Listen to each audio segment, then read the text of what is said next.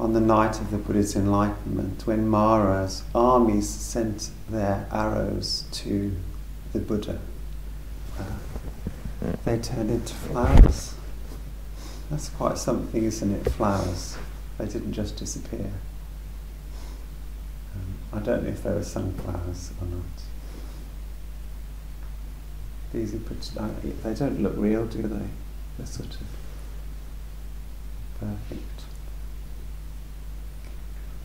Yeah, so these arrows of greed and hate and delusion that were sent to disrupt the process of enlightenment that was happening to the Buddha,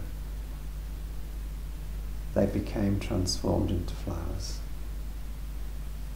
Flowers are beautiful. Who doesn't love flowers? Um, I don't know anybody that doesn't love flowers. And they're, you know, the flowers represent love, loving kindness, beauty.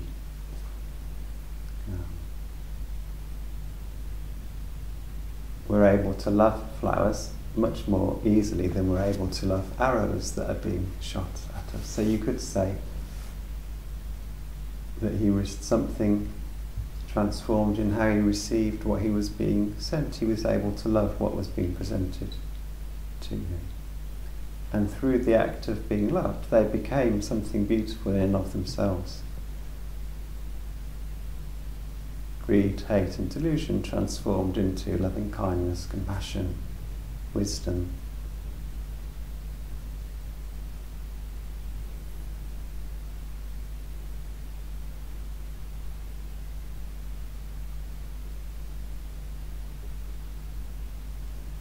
So if you're going to fire arrows anywhere, fire them at the Buddha. I guess that might be one moral of the story. Yeah, make an offering of your greed, hate, and delusion. Take it to the Buddha. It will become something else.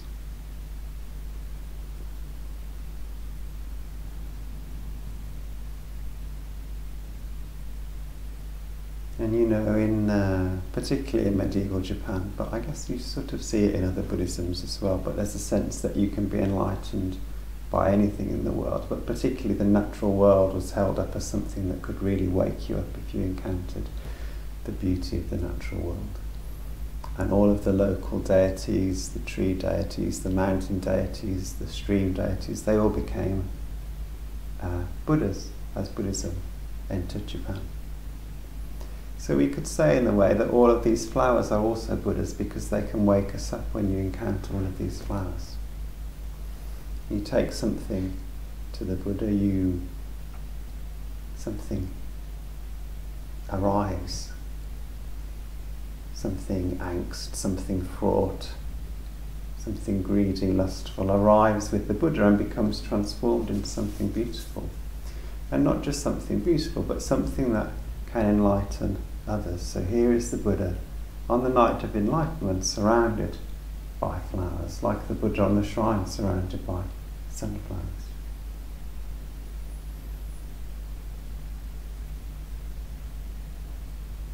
And you can take that flower away from the shrine and somebody can be enlightened wherever the flower is. In the same way that when we bring ourselves here with all of our greed, hate, and delusion. And some of that begins to become flowers, begins to be transformed. We also take that away with us, even without thinking about it, without doing anything else. We become flowers. We become Amida's flowers out in the world.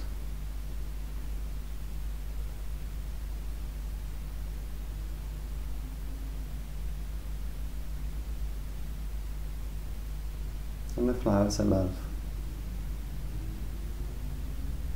We bring our stuff to the Buddha who loves us and softens us.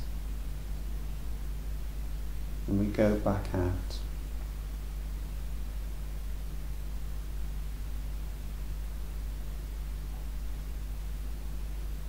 Carrying some of that love into the world. And then to be. Mm.